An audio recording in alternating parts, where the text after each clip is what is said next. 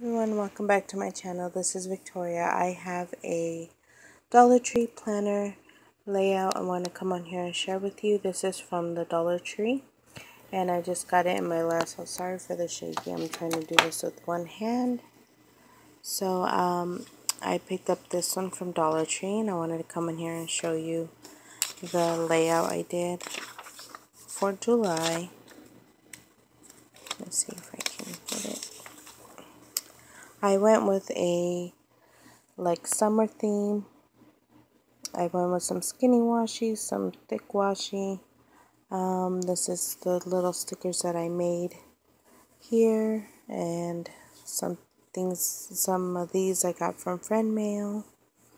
Some washi from Joann's, Hobby Lobby, Michaels. And it just looks like that and here's like my reminder little thing here. I got this washi from I believe eBay. And this one from Michaels another sticker that I made. And it just looks like that.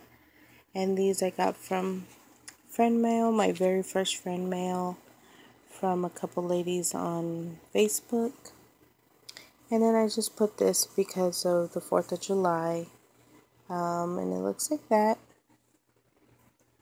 I hope you guys like it and stay tuned because I will do next month's.